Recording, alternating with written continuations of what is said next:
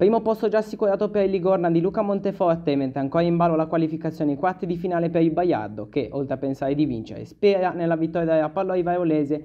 Ora la testa però è al campo 25 aprile, dove già al minuto 8 Oliviero buca Prisco sul primo palo e il Baiardo è già in vantaggio. Sei minuti più tardi risponde Ligorna, prima con traversone non sfruttato da Gatto, poi con tiro dalla media lunga distanza di Ruffino, che con il destro buca le mani di Biggi e porta la partita sull'1-1. Gli ospiti non mollano e dalla sinistra arriva un passaggio per Gatto che viene cinturato e steso nel cuore dell'area di Aigoe, ma la Ganario di Genova lascia andare. Contatto dubbio nell'area del Ligorna con l'arbitro che anche in questo caso lascia proseguire. In una palla 2 Oliviero restituisce il pallone agli avversari e sulla stessa azione battaglia scarica un Bolde che colpisce il palo e poi si insacca alle spalle di Prisco e rivediamo il gol favoloso che merita di essere visto e hai visto.